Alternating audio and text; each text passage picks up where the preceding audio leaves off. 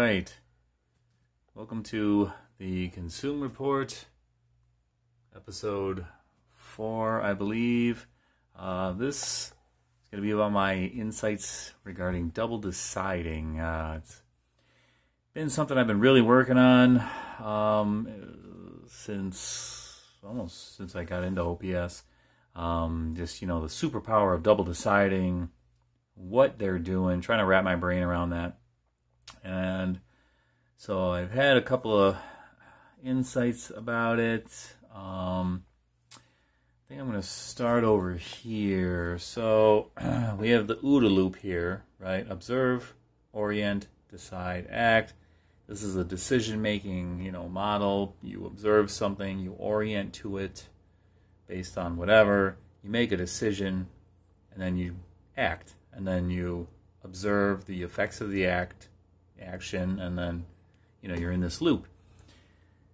And it occurred to me literally today that regarding double deciding, people being able to go back and forth between, oh, this is what I do, this is what other people do, this is why I do it, this is why, you know, and just being able to put that all together. It occurred to me that,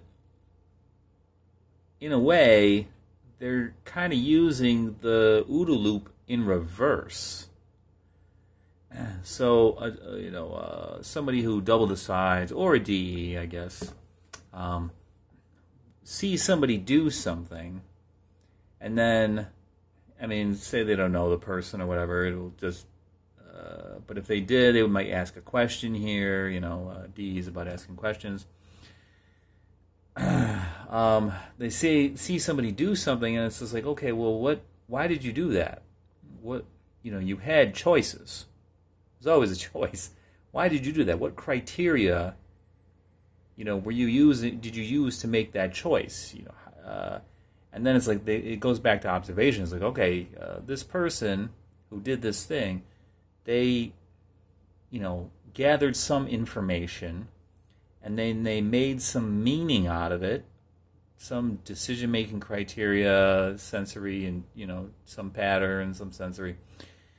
And then they made a choice based on that and then they did a thing. So i think what double deciders can do and maybe D's is like they can see somebody do something and then and this has always kind of bothered me because sometimes i'll do something and people will start like instead of asking me why I did it, they'll just assume a reason, like accuse me of it, and then and then it's almost like a test like okay am i going to explain myself? Like no you're wrong because or whatever.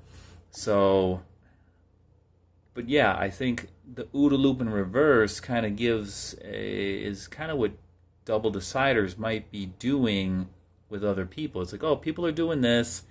It's likely they're doing this, and then they check in, and through experience, they just learn like, oh, when people are doing this, they're probably this is probably why they're doing it that way, and then they can, you know, they get to know people, and then by through that, they get to know themselves in a way. It's like, oh yeah, well, I do it this way, and they do it this way, so we're just and you know, kind of a back and forth, and having that kind of nuance which kind of brings me over to here. There was a video that Rose V, or Vey, I don't know how it's pronounced, um, made about how she saw her FE and what she was doing with her DE. And so when she met a person, she would she said like, oh, I, you know, she starts talking to him, and then immediately she starts to perceive like their network. Who do they know? Who are they likely to know?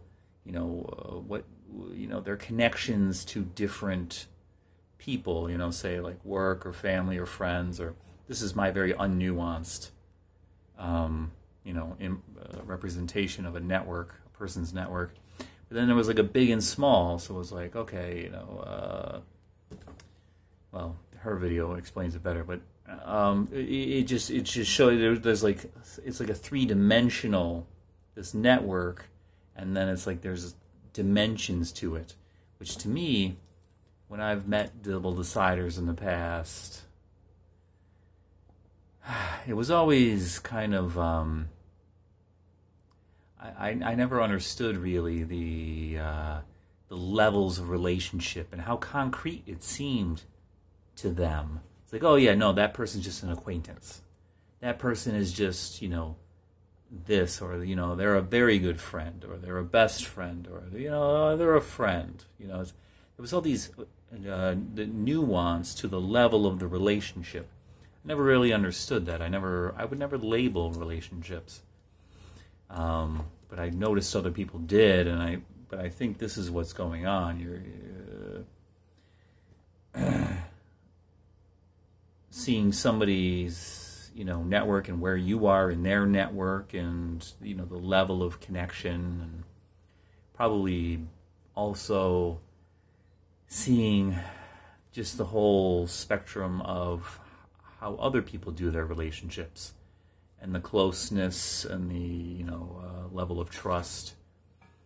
And uh, you know the, uh, it's just just so far beyond me at this point but I, i'm starting to even just get a peek i think behind the curtain so then this reminded me of a japanese proverb i read a long time ago so when the character of a man is not clear, look to his friends. So it's like you can tell who somebody is maybe, like by their actions, by who they hang out with. What, what kind of people do they hang out with? What kind of people do they tolerate? You know, is it a good thing, a bad thing?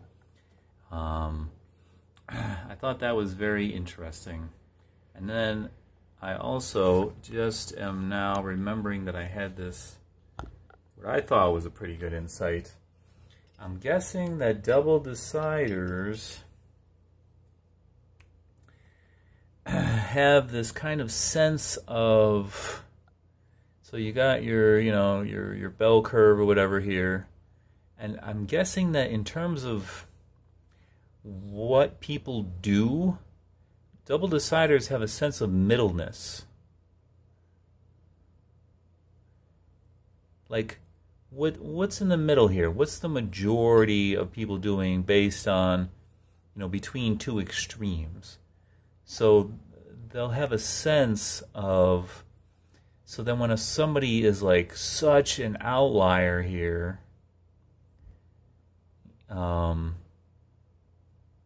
I feel like for myself, when I when I uh, I feel like to me, or for for double deciders who interact with me, I feel like I'm a sort of novelty in a lot of ways um, because I am just me and I do the things I do for my reasons. And I'm not aware of this middle, nor am I trying to find even the middle. I'm just, I'm just, okay, this is me. This is why I do what I do, you know, and like this whole bell curve is, it's not really relevant to me. So, um, so double deciders, I feel like they, uh, that's just my impression. Um, that that um, they, they see me and I kind of entertain them because they're like, this guy is just out there. but now I'm starting to see like why that is. Why like okay, they can see this, they can see this is where most people are, and most people are trying to be in the middle. I think they're trying to blend in in their way. You know, they, everybody has their little idiosync, idiosyncrasies, but it's it's it's uh, you know it's you know a little bit here on here and there on either side of the middle, but then you have other people who are just you know just doing what they're doing. You know, you got your the negatives of you know hoarders or uh, you know uh, I don't even know. I can't think of it right now, but yeah. So I don't know. That's uh, that's kind of my thoughts and observations on double deciding as it is. Um, yeah, just thought I'd share. Maybe uh, it'll help somebody. All right, take it easy.